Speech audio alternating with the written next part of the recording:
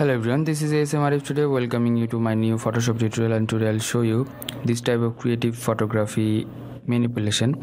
That means uh, you are the fan of a bike or you can make a wallpaper which is a creative and the fantasy type.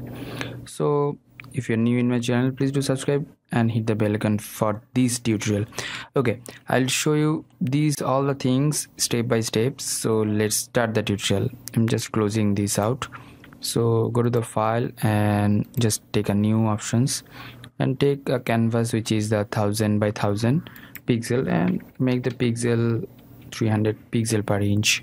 And after that go to the file and the place embedded options. And here I downloaded stock image and I'll give you that stock download link in my video description. So check it out.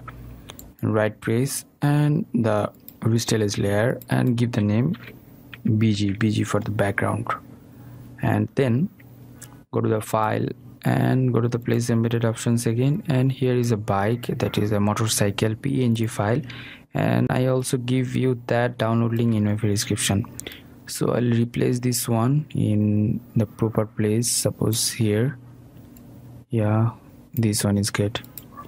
And then right press and rasterize this one again and BK BK for the bike. And take a new blank layer right press and create clipping mask and after that go to the shadow options and make it smaller like that. And just give shadow here. So lower portion. So yeah that's good. That means before and after. And here as well. So yeah that's good.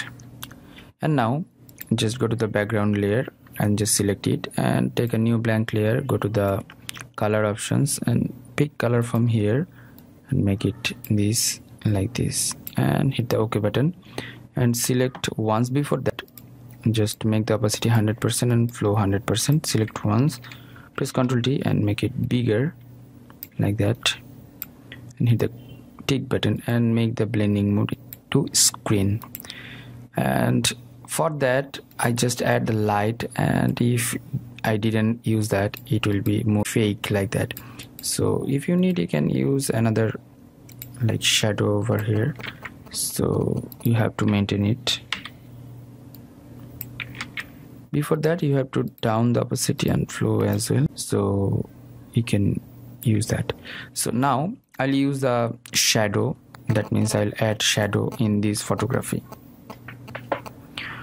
So at first go to the brush again make the opacity up and the flow up and just select once. Make it 100% and 100% so select once. You have to take a new blank layer and select once. Press just make it smaller and make it like shadow type. So you have to place it properly. Use the move tool for the placement and press the alter button and here you're getting another shadow. Yeah that's good. And now I'll take another new layer and go to the brush options and I'll down the opacity and flow. And then I'll just draw here for the shadow it will be like realistic. So that's good.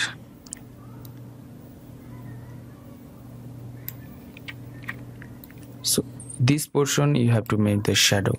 And for that I'll go to the filter and the blur option and Gaussian blur. And hit ok if you need you can adjust the opacity. That's good. And then go to the adjustment layer and the gradient and take the gradient the downside and hit the ok button.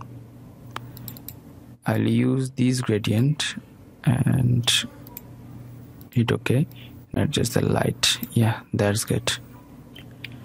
And now I'll use the light of the bike. So here I downloaded a light beam. So I'll rotate this one like that so make it smaller and reposition this one. And hit the tick button make the blending mode into screen and just zoom it in and place this one in a proper place actually. So make it smaller and so placement should be properly for that just make this one like yeah. That's good. That's good. And select all the layers make it group and make it merge. After merging this go to the filter Nik collection and the Color Efex Pro 4 so from here I'll apply another color effects. That is I'm using the cross processing. And here lots of method. You can use one of them so I use this one or this one is good b02 and hit the ok button. Yeah that's fine. It's done. The bike manipulation. So thank you so much. Thanks for watching my video tutorial. If you have any kind of question query request please do comment on my video comment section. Until the next video i'm signing out today. Bye bye